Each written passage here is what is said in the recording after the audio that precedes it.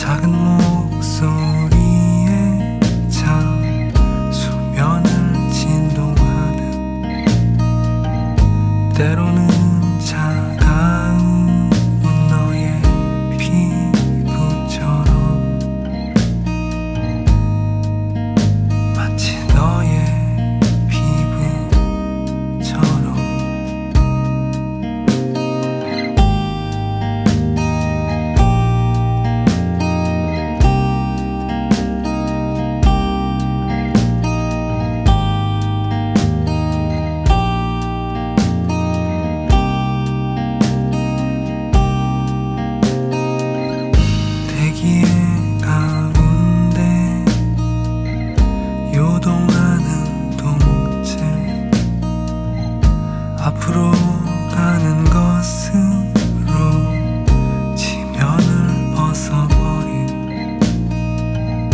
때로는 그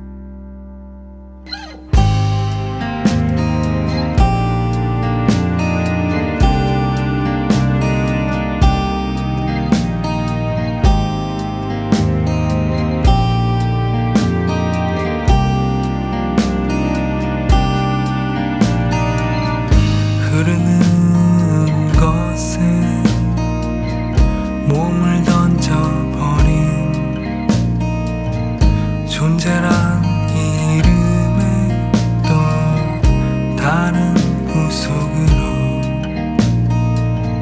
때로는